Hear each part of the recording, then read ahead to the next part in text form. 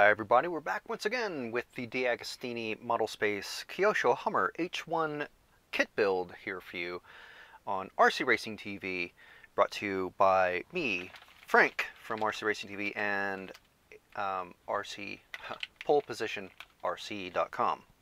So we've got steps um, 23 and 24 here. Um, now, as I mentioned in the last step, we are starting with the front differential. These are the parts for the front end of the car. And just looking again at our um, digital instruction guide, uh, you can see that it's basically exactly the same as what we did previously with the, the rear differential. Um, so there'll be a lot of familiar steps here.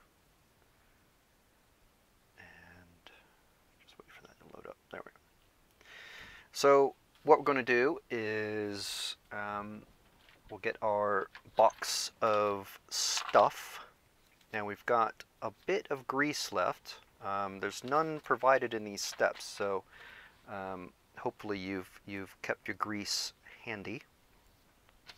I'm just going to use uh, one of the previous plastic bags just to keep all the greasy and dirty stuff on. So we're just going to jump right in.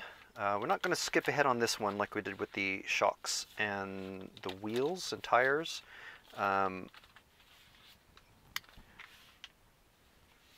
just because it's uh, it's been a little while since we've done this, so we just want to uh, we'll follow everything as we're meant to, step by step. So just getting our scissors and cutting open the bags. And making sure that we have everything um, as detailed in the instruction manual.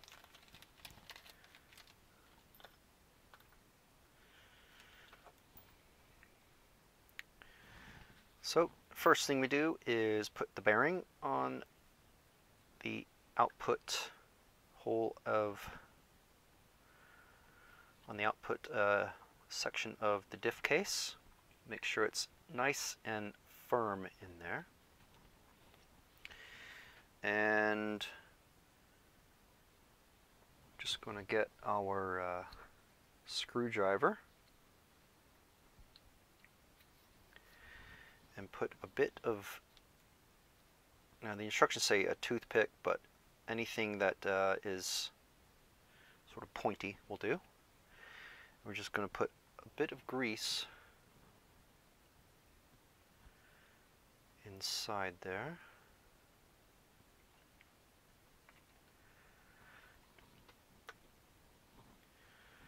That hole, if you can see that. And then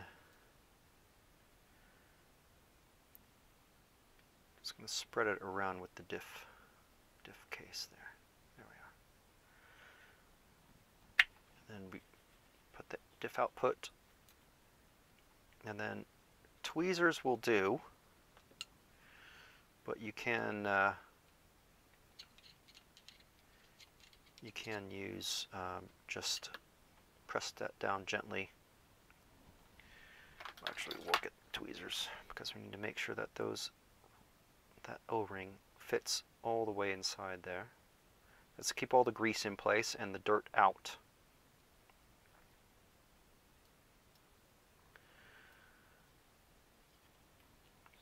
Okay. Next thing is getting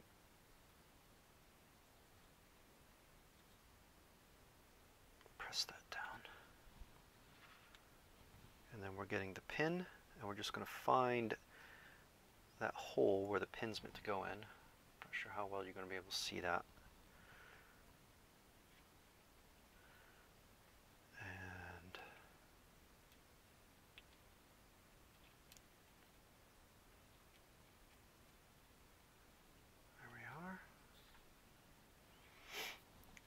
And now we get quite a bit more grease on that washer. Because again, there's going to be a lot of metal to metal contact. Actually, it might be easier to put it on the face of this gear, which is going to rest on that pin.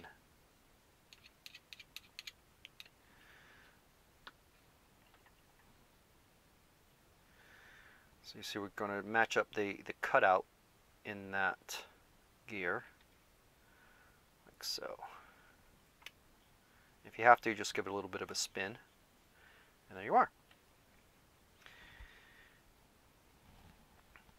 Next stage is to just get these two, oops, facing like that, and then just drop that in. Spread out the gears. And then if you've run out of grease by this point, um, you can, as I've said, you can go to a DIY shop um, and get a, a pretty good sized tin of uh, multi-purpose grease um, from an auto parts store or a DIY shop. And you can see once you squeeze it all together, you do, uh, there's usually quite a bit. It's not as easy to use as say a tube of toothpaste, but you can get quite a lot of grease still out of this bag. And we're just going to use the uh,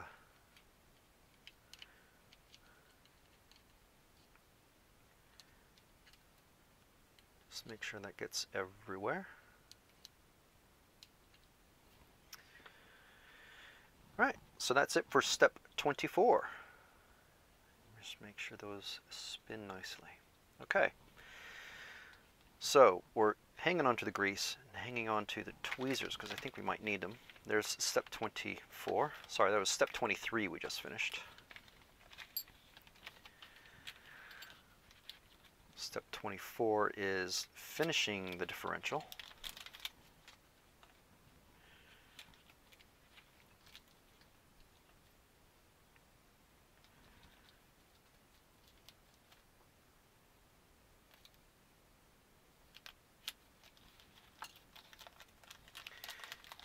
And for the most part, apart from the outer gear, it's uh, exact builds exactly the same as the part we just did. So I'm just gonna go through it and uh, might not go necessarily exactly like the instructions tell you to, but in the end we'll get there. Okay, so let's get some, uh, let's get the bearing on there.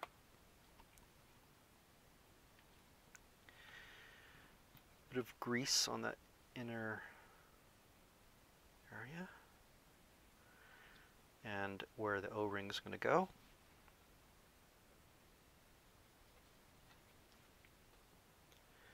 And when you're putting this in, give it a little bit of a spin just to help spread the grease.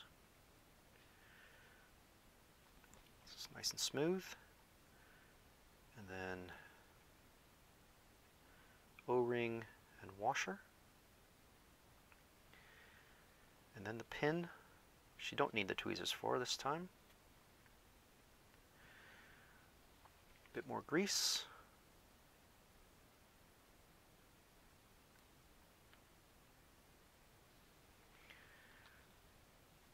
And then it's quite easy to get there, there we are.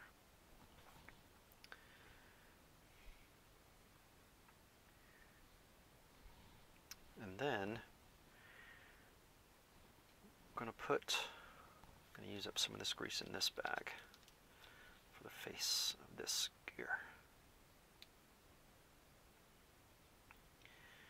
We're putting quite a lot of grease in because um, these differentials take a lot of abuse um, not just stopping and turning and everything, but um, acceleration, braking, and everything. All that drive force is going through these gears. So now we've got sort of the, the differential capped, so to speak. And now we've got the ring gear, this bevel gear. It's going to go on that.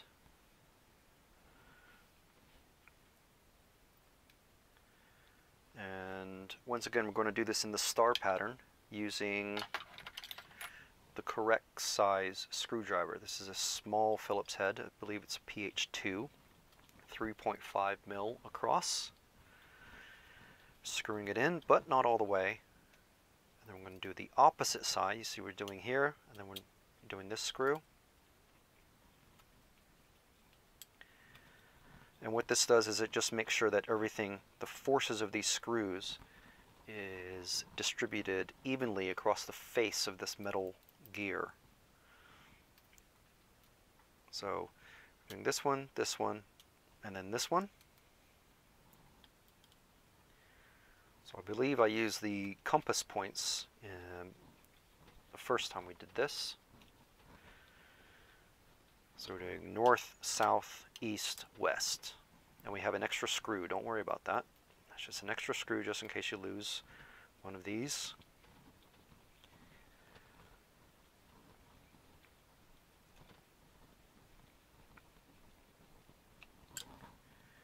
And then now we're tightening them down.